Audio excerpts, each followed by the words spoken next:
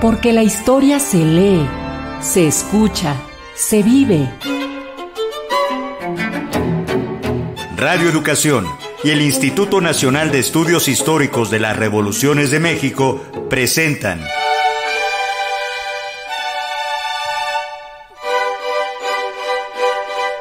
Historia viva, la voz del pueblo de México.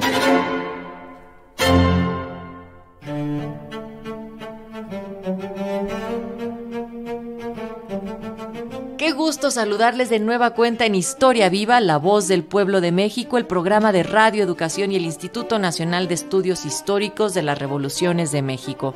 Mi nombre es Natalia Luna y a nombre de este gran equipo le invitamos a que se quede con nosotros porque hoy lo prometido es deuda y estaremos dando continuidad a la figura tan importante, también misteriosa, con tantos matices de Francisco y Madero, presidente de este país y que además fue padre, por así decirlo, de la democracia en México. Quédese con nosotros, este programa es previamente grabado, sin embargo, estamos también para ustedes transmitiendo a través de las distintas plataformas y señales de Radio Educación. Antes, permítanme saludar al doctor Felipe Ávila, titular de este espacio, y vamos a estar dedicando estos próximos minutos, Felipe, a uno de los personajes que, que a ti yo sé que te apasionan y que intrigan también a la población. Sin duda, me da muchísimo gusto compartir este espacio contigo y con nuestra audiencia. Recuerden que estamos a través de Facebook, X, em, también estamos en YouTube, no solamente en Radio Educación, sino también a través de las distintas redes del INERM, 1060 de AM, 96.5 de FM aquí en la Ciudad de México y 43 estaciones e instituciones que comparten nuestra señal en la República Mexicana. Hoy enviamos un saludo a Radio XHUDG en el 104.3 de FM en la Universidad de Guadalajara. Bien, Felipe, hace unas semanas presentábamos la primera parte para develar al personaje de Francisco y Madero con uno de los aspectos que ha interesado. También existen muchos mitos, fantasías y también incluso se le mm, menosprecia por este aspecto espírita que él tenía, esta doctrina que él practicaba y que llevaba a cabo, que tú este, nos has logrado explicar más. Si pudiéramos nada más como resumir brevemente ese aspecto de Madero para el día de hoy, dedicar este programa a la importancia de su obra, de su legado y sobre todo cómo es que llega al poder. Porque desde ahora les anunciamos que haremos un tercer programa que ya tiene que ver con la conclusión, digamos, de, de su vida y obra en ese momento que fue la llamada decena trágica. Con mucho gusto, Natalia. Como vimos en el, programa anterior sobre Madero, eh, eh, fue un personaje extraordinario, totalmente atípico, con una formación intelectual muy sólida en algunas de las mejores escuelas en el mundo en esa época y que desde una eh, etapa muy temprana juvenil se aficionó y se adhirió a la doctrina espiritista y que esa adhesión, esa práctica de vida eh, explica en buena medida lo que fue, lo que hizo y también mucho de lo que nos legó. Eh, habíamos visto que el espiritismo eh, no es como generalmente se menosprecia, se prejuzga, sino que era una doctrina espiritual, ética, filosófica, eh, de ayuda, de entrega al prójimo, y que si algo define la vida de Madero es esa entrega, esa lucha porque los demás estén en mejores condiciones. Comenzamos a ver, y ahorita quisiera retomar aquí este punto, Madero desde 1904, derivado de esta convicción y de esta misión de ayudar al prójimo, se convenció de que la mejor manera de hacerlo era metiéndose a la política y que había incursionado en la política desde 1904 con experiencias importantes a nivel local en la presidencia municipal de donde vivía, en San Pedro de las Colonias, después en la elección de gobernador, en las dos apoyó a candidatos antiporfiristas que fueron derrotados, y de esas derrotas Madero concluyó que no se podía vencer a Porfirio Díaz a nivel local ni estatal, que tenía que ser una contienda nacional, y desde entonces se puso como objetivo preparar las condiciones para que en la elección presidencial de 1910 Porfirio Díaz tuviera que enfrentarse a un partido nacional, un partido democrático, un partido que enarbolara las consignas de sufragio efectivo y no reelección y que eh, compitiera dentro de las instancias legales por la presidencia y la vicepresidencia de la República. Y a eso dedicó todos sus esfuerzos. Entre 1907, 1908 y hasta 1909 y 1910, Madero realizó una enorme cantidad de actividades tratando de convencer a la gente con la que tenía contacto de que era necesario un cambio democrático en el país, que se podía hacer y que tenían que eh, incorporarse a un, a un, nuevo partido que él fue su principal promotor. Y esto lo hizo, tengo entendido, Felipe, a través de distintas giras en sus diversas etapas por el país para poder tener cercanía con estos distintos grupos sociales. Sí, eh, Madero, eh, y es muy importante saber que eh, por fortuna se cuenta con buena parte de sus cartas, de sus escritos, de sus diarios. Eh, hay un epistolario en dos volúmenes que publicó el INERM desde hace más de 40 años, que es una lectura imprescindible porque ahí podemos seguir día a día lo que está haciendo, lo que está pensando, lo que está reflexionando y lo que está intercambiando de opiniones y de puntos de vista Madero con una enorme red de corresponsales a lo largo y ancho de la República, con quienes fue construyendo una, una red, un tejido que finalmente eh, cristalizó con la fundación del Partido Nacional Antireeleccionista. Eh, antes, y como un eh, gran impulsor de esta iniciativa, publicó el libro de la Asociación Presidencial, que también ya comentamos un poco de él en el programa pasado, pero después de la publicación y del enorme éxito que tuvo su libro, eh, los meses siguientes Madero los dedicó a construir este Partido Nacional Antireeleccionista Democrático eh, y finalmente eh, hacia 1909 y en 1910 sobre todo pudo concretar esta iniciativa. Hubo una convención de clubes antireeleccionistas que él había contribuido más que nadie a formar en las principales ciudades de la República a través de estas giras que, tú comentas, en donde no solamente hacía eh, un mitin político, un llamado, una concientización de la gente que lo escuchaba, sino que en todas esas giras aprovechaba para formar clubes antireeleccionistas a donde se presentaba. Eh, en 1909 y los primeros meses de 1910, este extraordinario esfuerzo que incluyó también la creación de un periódico antireeleccionista que dirigió primero José Vasconcelos, que se convirtió en el órgano oficial del antireeleccionismo y de crear también partidos locales, digo, no partidos, sino periódicos locales en Coahuila.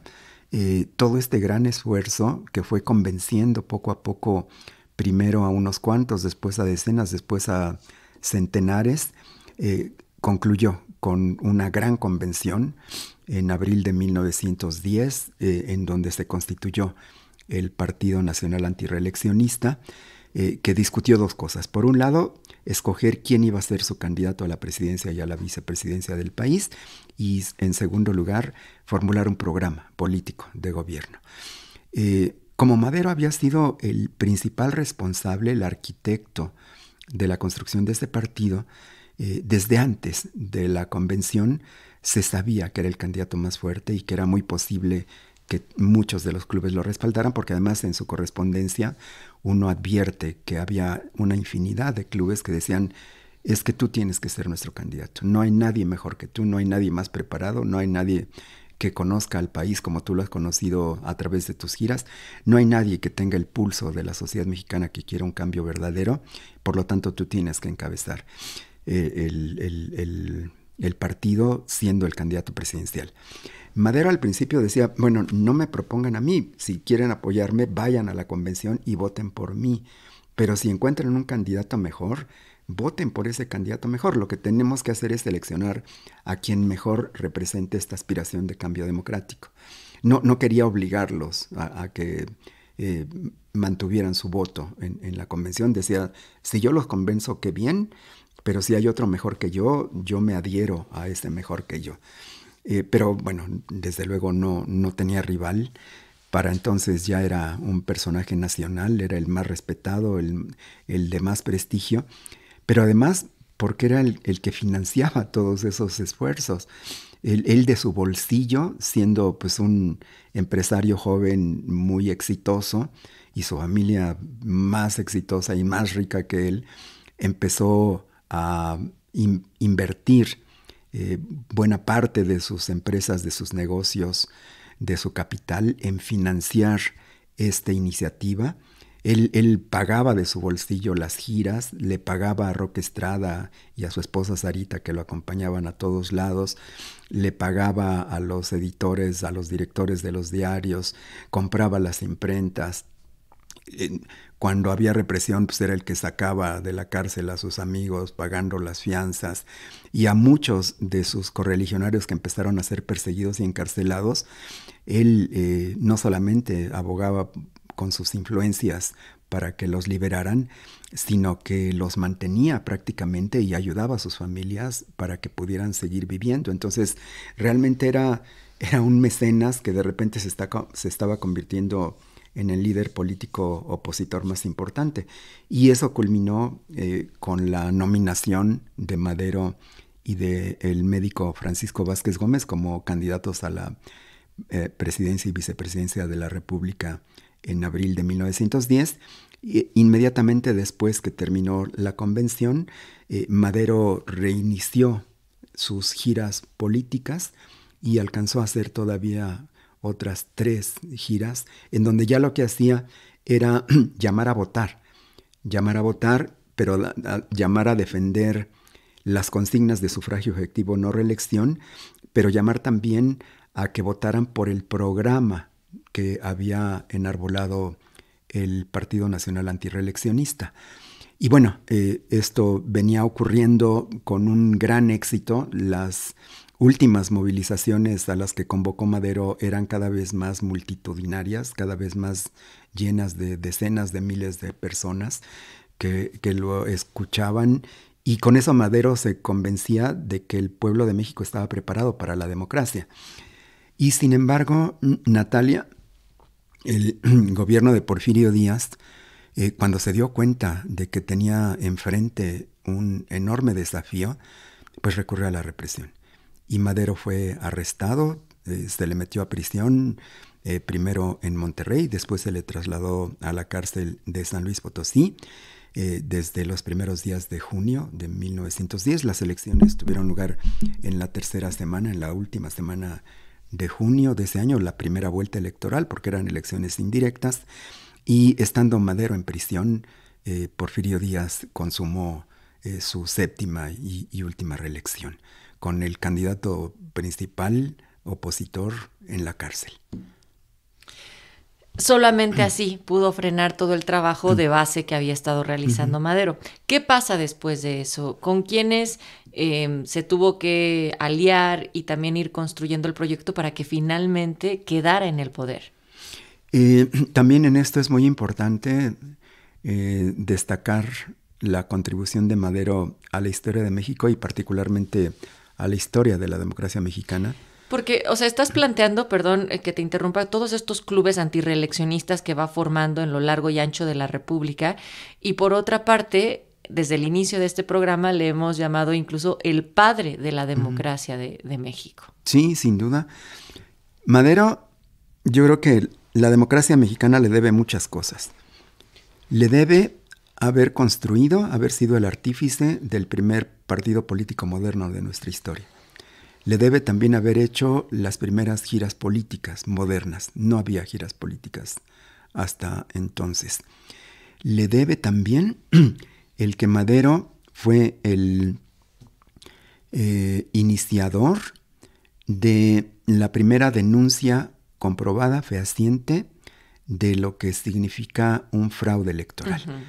Eh, estando en prisión, Madero le dijo a sus principales colaboradores y a todos los presidentes de los clubes antireeleccionistas que se volcaran a las casillas el día de la elección, que llegaran desde temprano, que eh, pudieran eh, acreditarse como representantes del partido y que vigilaran el cumplimiento de la ley electoral, que no hubiera violaciones, que pudieran hacerse las votaciones en paz, de manera pacífica, sin coacción, y que si había alguna irregularidad que la fueran documentando, que levantaran actas circunstanciadas de todas las violaciones, eh, que las enviaran a el comité del partido en, la ciudad o en el estado, que mandaran una copia al comité central, a la Ciudad de México, eh, y que eh, impugnaran desde la casilla y en el recuento de los votos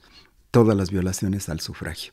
Y que si no les hacían caso, que se plantaran afuera de las casillas en, una especie de, protesta política eh, para que quedara constancia de que ahí había habido un fraude electoral y que eso se conociera.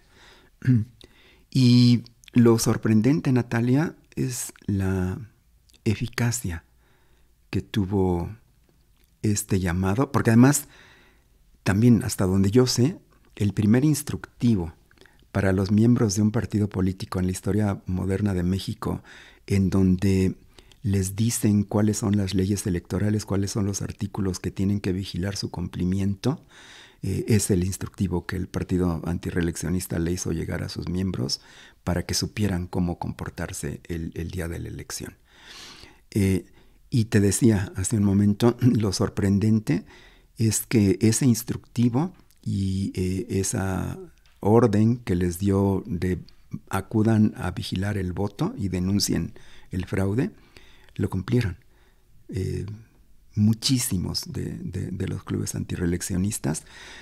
Le encargó, estando en la cárcel en San Luis, a uno de sus colaboradores jóvenes eh, más competentes, a Federico González Garza, que concentrara todas las, las denuncias y que con esas denuncias escribiera un memorial solicitando al colegio electoral la anulación de las elecciones. Ese memorial se escribió, se presentó el primero de septiembre a la, a la Cámara de Diputados constituida como colegio electoral. Eh, a los pocos días, desde luego, el colegio electoral le dio carpetazo, no aceptó la solicitud de anular las elecciones. Eh, cuando se hizo público eso, Madero a los pocos días decidió escapar de San Luis Potosí, huir a los Estados Unidos y desde San Antonio, en donde lo eh, acompañaron varios de sus colaboradores más cercanos de esas últimas semanas, eh, decidió que se habían agotado todas las instancias legales que ya no había ningún camino que recorrer y que no le quedaba otra salida que llamar a la insurrección.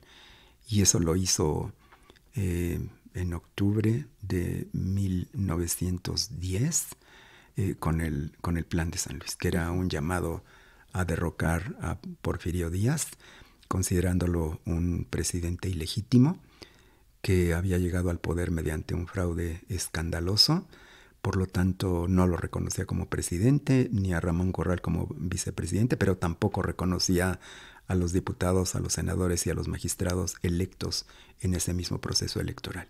Y ese es el, siguiente paso. Eh, ahí Madero se convierte de líder político en líder de una revolución eh, con una eh, naturaleza distinta, pero que tenía la legitimidad que le había dado todo lo que había hecho en, los meses anteriores. Nadie le podía cuestionar que por qué llamaba a una insurrección eh, sin antes haber agotado todas las instancias. Madero había agotado todas las instancias y no le quedaba otra alternativa que esa. Rápidamente llega al poder, porque después de esto quisiera que presentemos nuestra cápsula que abarca estos 15 meses eh, cuando logra estar al frente de la presidencia? Eh, el llamado a la insurrección es muy exitoso. En seis meses derrota militar y políticamente al gobierno de Porfirio Díaz, lo obliga a renunciar el 26 de mayo de 1911. Eh, se hace un acuerdo político en Ciudad Juárez entre representantes de Madero con representantes de Díaz. Se acuerda establecer un gobierno de transición que va a durar solamente seis meses con el objetivo de pacificar el país y de convocar a elecciones. Se declaran nulas las elecciones de, 1910. Eh, entra un presidente interino que es Francisco León de la Barra, que era el ministro de Relaciones Exteriores de Porfirio Díaz. Se arma un gabinete de transición con representantes de Madero, pero también con representantes del gobierno de Porfirio Díaz. Madero en ese pacto acepta que permanezcan los poderes legislativo y judicial así como las gubernaturas y las presidencias municipales. Eh, y bueno, eh, en esos seis meses del interinato ocurren muchísimas cosas, pero en lo que tiene que ver con nuestro programa de hoy, eh, Madero vuelve a ser candidato, pero ya no por el partido antireeleccionista, porque el antireeleccionismo ya había triunfado, ya no tenía caso, ya no había ningún presidente que se quisiera reelegir, Porfirio Díaz ya se había ido a Francia. Eh, Madero hace un ajuste en su propio partido, le cambia el nombre, desaparece el Partido Nacional Antireeleccionista, crea un nuevo partido que se llama el Partido Constitucional Progresista, eh, y en esta ocasión Madero hace una depuración de la gente que lo seguía, porque se da cuenta que en los momentos más difíciles de la campaña política contra Díaz, algunos de sus compañeros más cercanos flaquearon y no se mantuvieron con firmeza y también no lo hicieron durante la insurrección. Entonces él, tanto en los meses de la represión política como en los meses de la insurrección, se dio cuenta con quiénes sí contaba y con quiénes no. Y entonces hace un lado a Francisco Vázquez Gómez como eh, su compañero de fórmula para la vicepresidencia y pone a José María Pino Suárez. Y, con Pino Suárez arrasa, él arrasa en las elecciones. Pino Suárez le cuesta más trabajo porque hay otros dos candidatos fuertes para la vicepresidencia, pero Madero arrasa en las elecciones. Estamos en Historia Viva platicando sobre la figura de Madero como presidente, también por supuesto el previo a lo que tuvo que ocurrir para que pudiera llegar al poder, pero mientras tanto nosotros queremos invitarles en este momento a escuchar y a ver si es que nos están siguiendo en Facebook, Twitter o X y también YouTube a través del INERMI de Radio Educación, nuestra cápsula que preparamos con motivo de los 15 meses de Madero presidente y volvemos.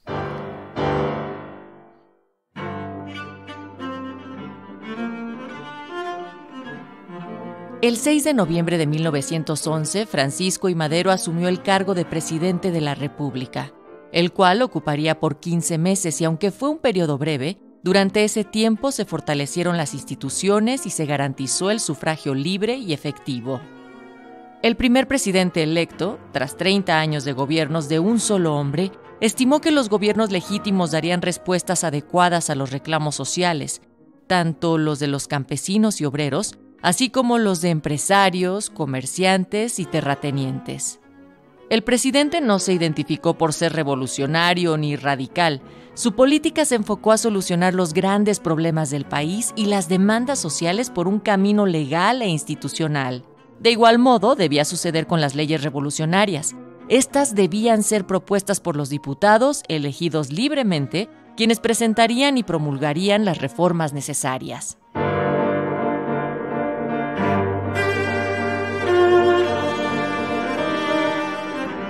Durante la presidencia de Madero se profundizó la renovación política de los viejos cuadros porfiristas, además de los gobernadores maderistas que habían asumido el poder de sus estados durante el interinato de Francisco León de la Barra, las jefaturas políticas también fueron reemplazadas, así como las presidencias municipales. Llegó al poder una generación de líderes locales, vinculados con las fuerzas sociales en ascenso, otro rasgo significativo del gobierno maderista fue la absoluta libertad de prensa de la cual gozaron los periódicos y revistas ilustradas. Sin embargo, se malinterpretó esa libertad de prensa y se hizo uso de ella para insultar, denostar e incluso mentir. Así se inició una campaña de desprestigio y linchamiento gráfico contra el presidente, su esposa y sus principales allegados. Entre los denuestos utilizados estaba el de El Loco Madero, por su afición a la doctrina espírita en boga en Francia. El presidente electo por mayoría de votos respetó los tiempos de renovación en el poder legislativo y judicial. Trabajó con la legislatura porfirista hasta mediados de 1912, cuando entró en funciones la sexta legislatura. El respeto al voto y las divisiones en el maderismo permitieron el crecimiento del Partido Católico Nacional y la consolidación de un grupo opositor en la Cámara de Diputados conocidos como el Cuadrilátero, conformado por porfiristas eminentes.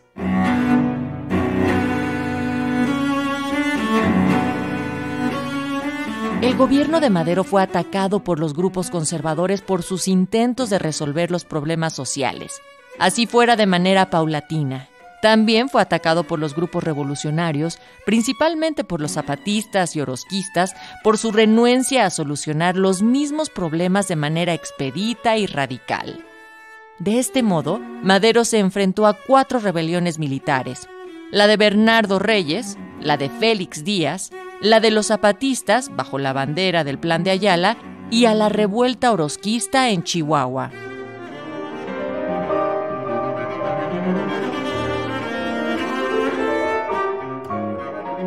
El presidente Madero promovió los derechos laborales de los trabajadores urbanos a través del Departamento del Trabajo. Mediante este organismo, el gobierno maderista estableció alianzas con las organizaciones laborales y promovió la solución de las añejas demandas obreras, así como la disminución de las injusticias y abusos cometidos por los patrones. En septiembre de 1912, en un discurso frente al Congreso, Madero señaló, si un gobierno como el mío no es capaz de durar en México, señores, deberíamos deducir que el pueblo mexicano no está preparado para la democracia y que necesitamos un nuevo dictador que sable en mano, silencie todas las ambiciones y sofoque los esfuerzos de aquellos que no entienden que la libertad florece solamente bajo la protección de la ley.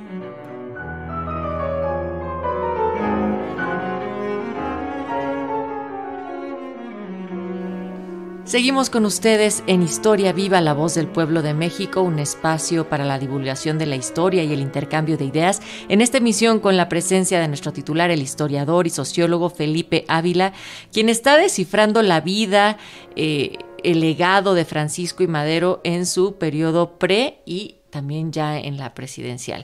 Em, Felipe, nos quedamos con el dato de cómo llega y también escuchábamos en la cápsula las palabras muy concretas de Madero que él tenía muy claro cuando un pueblo estaba o no estaba listo para esa democracia. Entonces, esto es muy interesante porque él llega al poder y nos gustaría que nos platicaras más sobre la administración pública con la cual asume como primer mandatario y la burocracia con la cual trabajó. O sea, ¿quiénes eran estas personas? O sea, no solamente era Madero al frente de todo, se tenía que hacer de todo un equipo. Con su llegada al poder fue posible toda una transformación o se preservó el aparato del viejo régimen.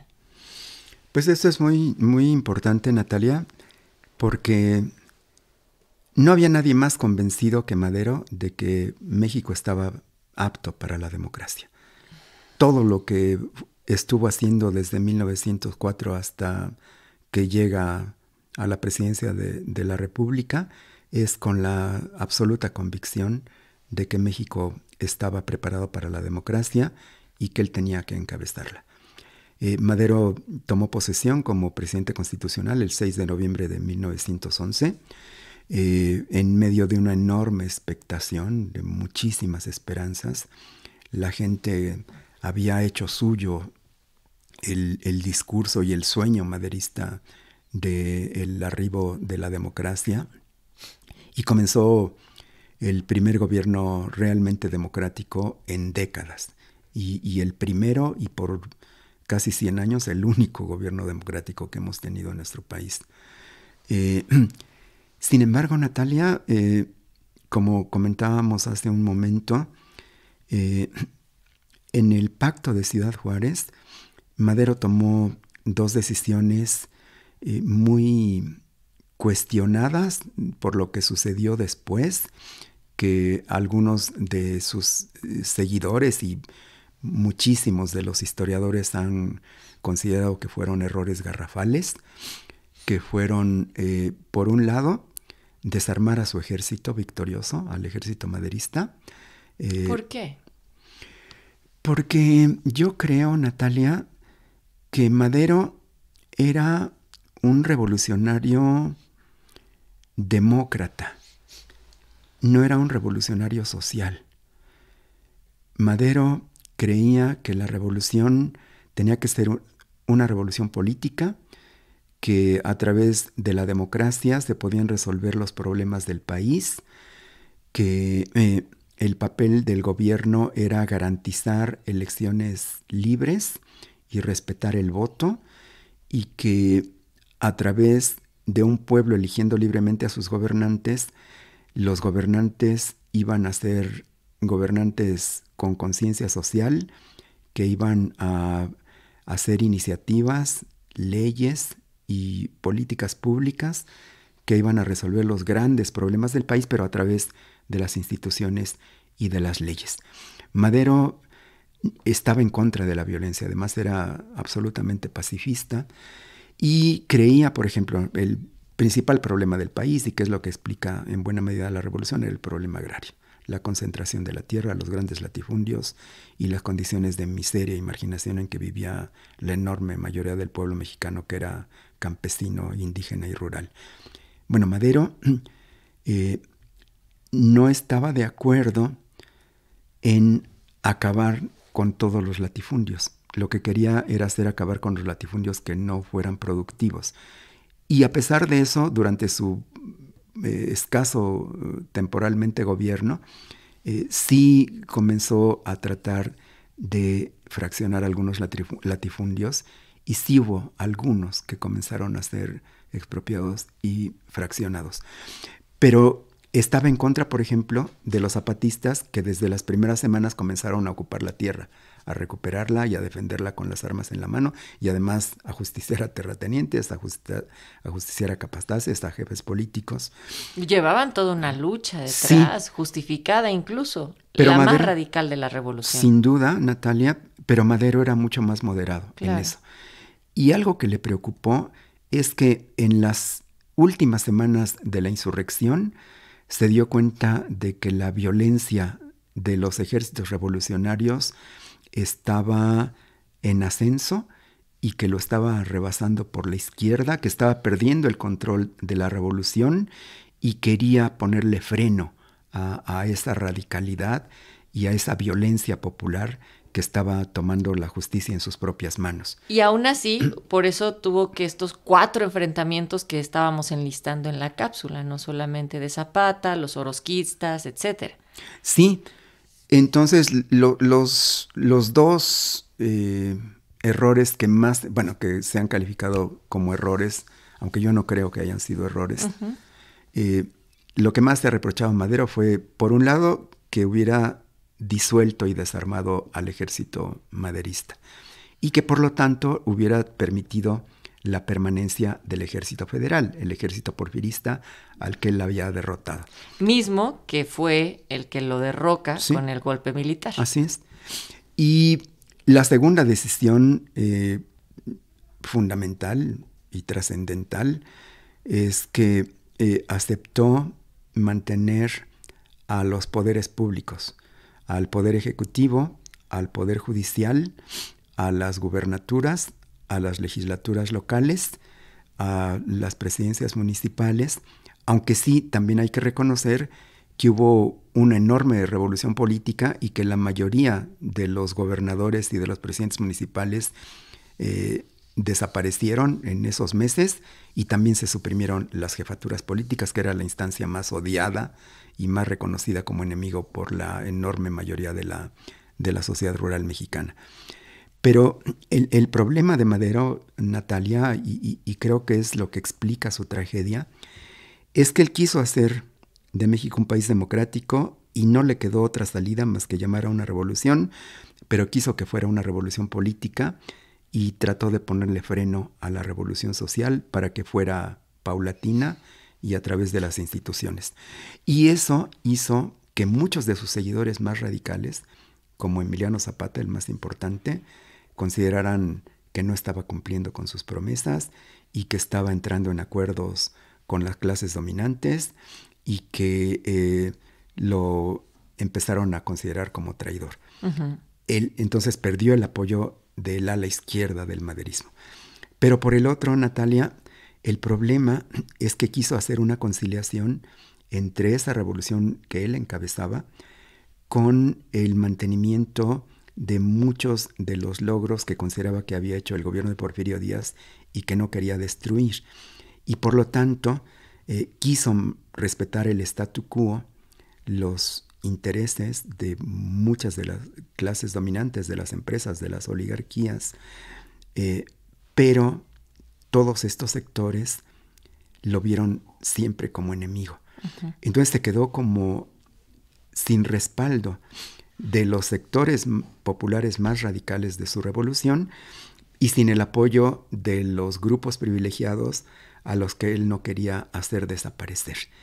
Entonces terminó no representando ni a unos ni a los otros. Y, es indudable que el coahuilense enfrenta este alejamiento de estos dos grupos, Felipe, pero también el constante acecho de las fuerzas del régimen porfirista, los militares que se quedan, ya lo mencionabas, el poder legislativo con los cuales tuvo que trabajar casi que 12 meses, un año, hasta que se da la renovación posteriormente en septiembre de 1912 ya habíamos dicho, en, en, todo, durante todo este tiempo se dan cuatro rebeliones, pero esto em, es muy apoyado por la prensa acosadora, que va construyendo una imagen de inexperiencia para gobernar, de debilidad, por otra parte, ante los militares, y algo muy importante otra vez que retomamos de un ser errático y loco por la doctrina espiritista que también él profesaba y, que daba un marco para poder eh, explicar a todo el personaje. Les recuerdo, si nos están escuchando, que hicimos un primer programa sobre Madero ampliando mucho esta fase de su vida, así es que lo pueden encontrar en el sitio de Radio Educación, también en nuestra página y poder darle continuidad a lo que estamos platicando el día de hoy. ¿Cuál es tu perspectiva eh, histórica, este balance que se hace? Mira, eh, el gobierno de Madero eh, no tuvo un día de descanso, no tuvo un día de paz y de tranquilidad. Desde el día uno comenzaron los ataques y muy pronto comenzaron las rebeliones. Eh, Bernardo Reyes se levanta en armas casi inmediatamente, Emiliano Zapata también. Eh, cuatro meses después se levanta en armas Pascual Orozco y hacia el final se levanta en armas Félix Díaz. Eh, son cuatro rebeliones militares que tiene que sofocar. Las de la derecha de Bernardo Reyes y de Félix Díaz las desarma sin mucho problema porque no tuvieron respaldo popular. Las de Orozco y las de Zapata le costaron muchísimo trabajo. La de Orozco fue en términos de desafío militar la más grave. Eh, tuvo que empeñar a casi eh, buena parte del ejército federal para sofocarla. Y a Zapata no lo pudo vencer. En esos 15 meses Zapata se mantuvo en, pie de lucha. Con, eso, eh, Natalia, el, problema es que al no tener a su ejército propio, se fue haciendo rehén del ejército enemigo al que le había derrotado y que nunca lo vio con buenos ojos y que estuvo contando las horas para traicionarlo. Eh, Madero se, se volvió rehén del ejército federal porque fue con el que pudo derrotar a Pascual Orozco y con el que estaba enfrentando la rebelión de eh, Emiliano Zapata. Pero en el terreno político, eh, Natalia, los problemas que enfrentó Madero fue el desmembramiento de su gran coalición política con la que había llegado al poder y que se fue desintegrando por las diferencias políticas, pero también por la ambición de muchos de sus colaboradores. Eh, y quizá también otro factor que es necesarísimo tomar en cuenta es que Madero gobernó con el enemigo durmiendo en casa, porque el Congreso era porfirista, porque esas elecciones eh, en las que le hicieron el fraude, Madero pudo quitarse a Porfirio Díaz y a Ramón Corral, pero dejó que los diputados y los senadores y los magistrados que habían sido producto de esa misma elección y que por lo tanto habían sido denunciados como fraudulentos, como ilegítimos, dejó que permanecieran en sus cargos. Y entonces el Congreso, los diputados y los senadores que eran absolutamente porfiristas y absolutamente enemigos de Madero, lo estuvieron boicoteando sistemáticamente desde el primer día. Muchas de sus iniciativas no pasaron. Una que otra fue la que fue aprobada, pero el grueso de sus iniciativas fueron bloqueadas y no solamente bloqueadas, sino que el Congreso se convirtió en una tribuna para denunciar a Madero como incapaz de gobernar y muy pronto empezaron a decir que tenía que renunciar, lo mismo que, con el Poder Judicial. Eh, y la prensa que mencionas, Natalia, casi toda la prensa, casi todos los periódicos, todas las revistas eran porfiristas y eran antimaderistas. Y estaban acostumbrados a que Díaz los mantuviera eh, y que eh, les diera privilegios, canonjías y dinero. Y la prensa de oposición estaba acostumbrada a que todo el tiempo la represión de Porfirio Díaz estuviera encima de ellos, que les confiscaran las, las prensas, que cerraran los periódicos, que metieran a la cárcel a los directores, a los caricaturistas y a los, a los reporteros y a los columnistas. Y cuando llega Madero, una de las eh, virtudes que tuvo su gobierno es que eh, trató de respetar la, libertad de prensa. Y los, los, grandes periódicos, las grandes revistas, eran absolutamente antimaderistas y muy pronto empezaron a criticarlo, a cuestionarlo, a burlarse de él, a hacer escarnio, a caricaturizarlo. Pero no solo eso, Natalia. Desde marzo de 1912 comenzaron a hacerle llamados al ejército federal para que se levantara en armas y comenzaron también a pedirle a Madero que renunciara, según ellos, por su incapacidad para gobernar.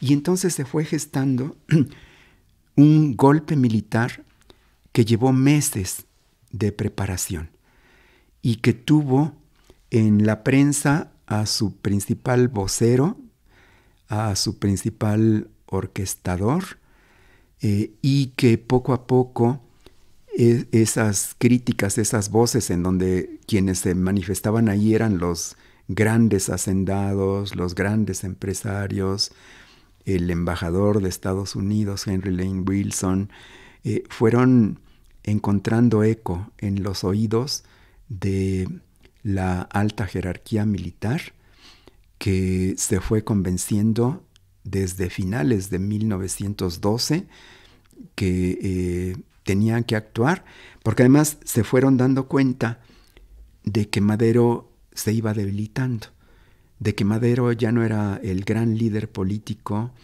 eh, de un año atrás eh, y que si hacían un golpe final con una quinta rebelión le podían poner fin.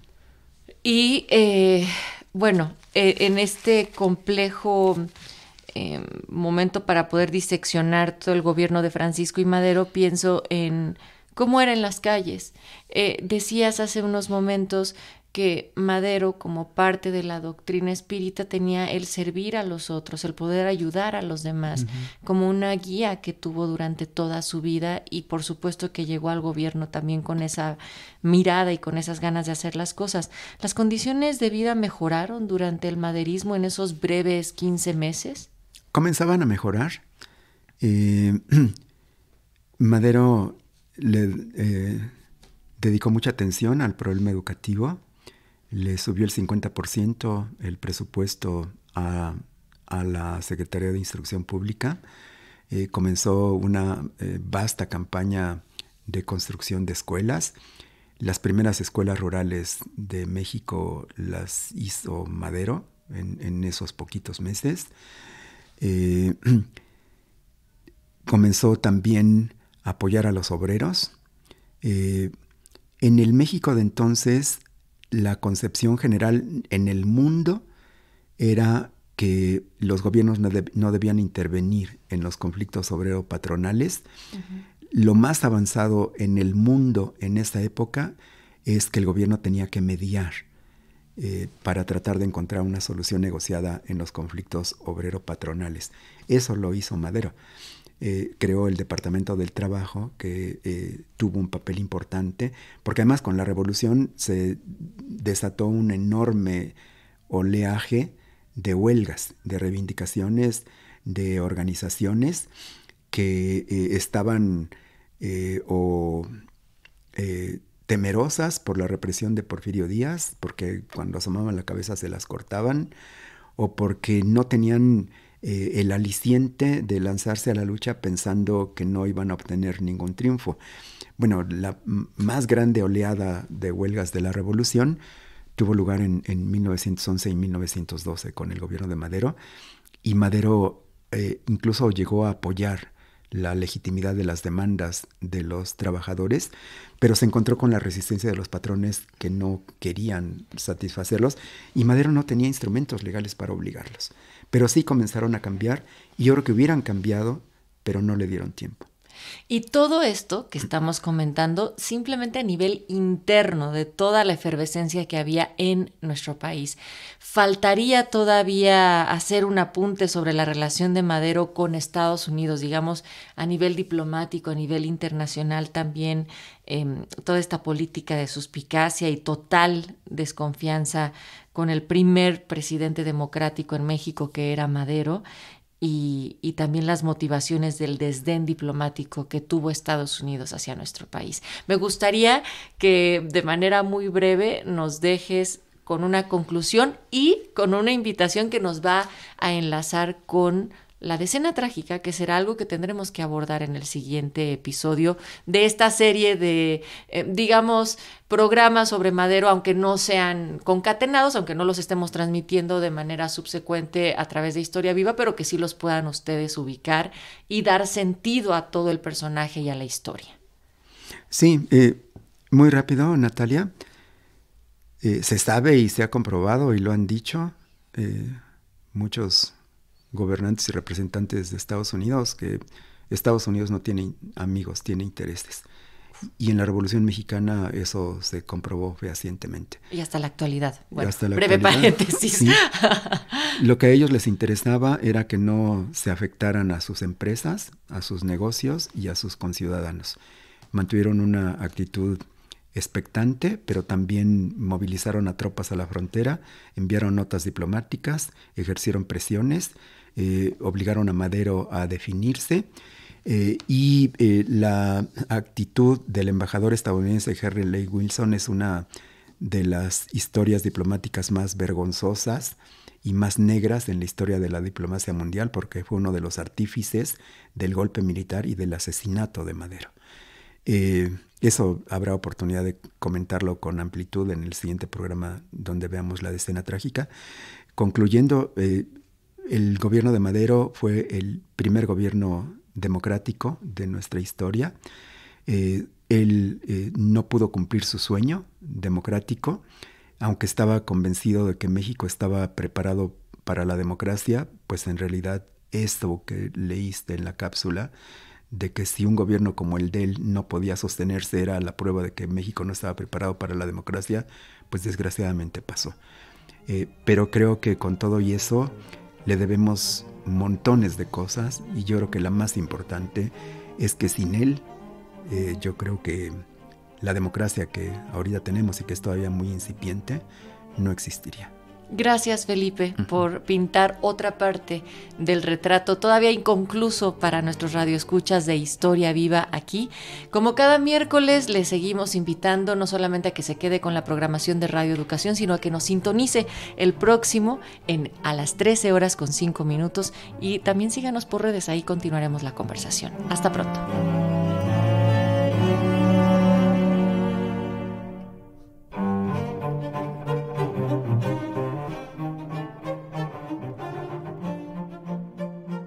Participamos en este programa por Radio Educación Oscar Guerra, Alma Lilia Martínez, Surelia Acevedo, Tania Nicanor, Roberto Hernández y Francisco Aguilar. Por parte del INERM, Daniel Librado Luna y Salvador Castro. En estos micrófonos le acompañamos Felipe Ávila y su servidora Natalia Luna bajo una producción de Mario Ledesma. Porque la historia se lee, se escucha, se vive. Radio Educación y el Instituto Nacional de Estudios Históricos de las Revoluciones de México presentaron